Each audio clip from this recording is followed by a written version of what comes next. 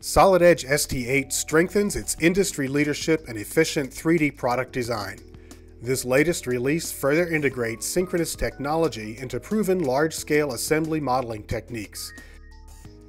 In this demonstration, we'll make several changes to a workbench stand supporting a recovery robot's chassis.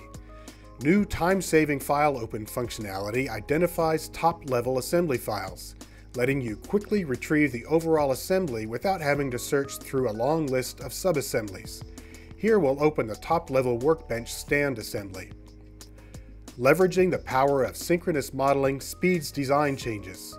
To stabilize the workbench fixture part, we'll widen its base just by dragging its side face, and we'll define a small offset to get an exact fit. Solid Edge specializes in providing all the tools you need to work on a part within an assembly.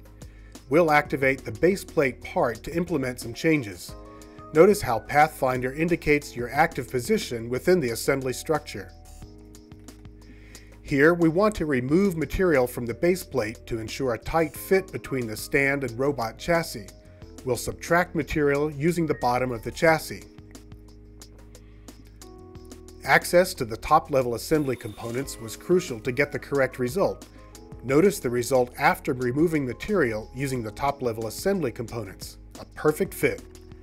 This approach produces accurate results and maximizes your productivity. Design reuse averts time-consuming and costly model recreation, so we'll make use of geometry already present in the top-level assembly. Watch as we use sketches from the workbench stand to create a relief pocket on the base plate and remove unnecessary features. Finally, we'll add some rounds to remove sharp edges and finish the base plate. With Solid Edge working on subsystems and components within a large assembly is efficient and very fast.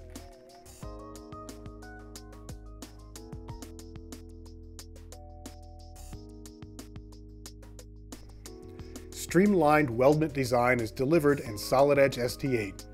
The ability to create weld beads within the part environment gives you flexibility with the use of standard weld bead commands, part modeling techniques, or a combination of the two. With weld beads defined in the part environment, you have full control of the material definition, appearance, and access to their mass properties. We'll continue to work in a top-down design scenario as this gives easy access to the assembly components. Here we'll create weld beads between top-level components while in the part environment. Their material is defined in the part, not the assembly. Now that we've applied weld beads to one component, we can expedite the welding process to the other side with the use of duplicate part. Now that's easy, it's fast, and it greatly streamlines the welding process.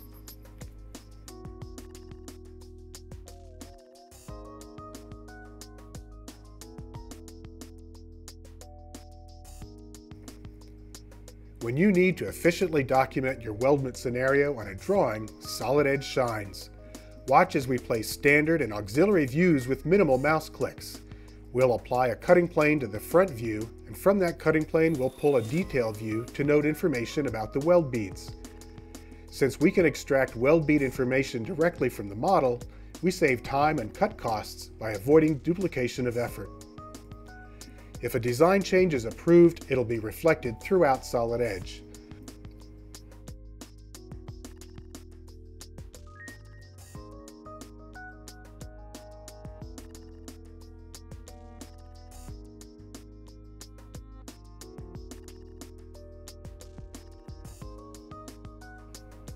Watch as we return to the assembly and increase the weld bead size between the post and fixture. Back in the draft environment, we're notified that a dimension moved, but also notice in the parts list the weld bead weight and cost also reflect the changes. Solid Edge with synchronous technology frees you to design more productively with the best tools and technology to get your job done right the first time. Solid Edge. Design better.